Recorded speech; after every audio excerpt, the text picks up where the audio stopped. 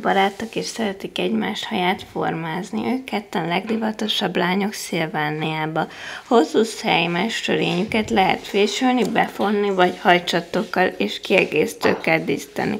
Aztán sokat mosni. Ez nekem megvan, csak más színben ez is, meg ezek is. Így sok divatos új fizet és megjelenés hozhatsz létre, melyeket megcsodált a stílusos, szabadon álló tükörben.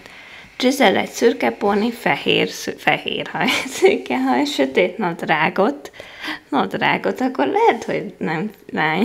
Bella egy barna póni, sötét haja, gyönyörű nyári ruhában hozzáillő szállakat. Készletben két titáskák ismernek szépen, itt van egy alkos történeteket, ugyanúgy még, még itt elmondják, hogy mik, miket is játszál a kis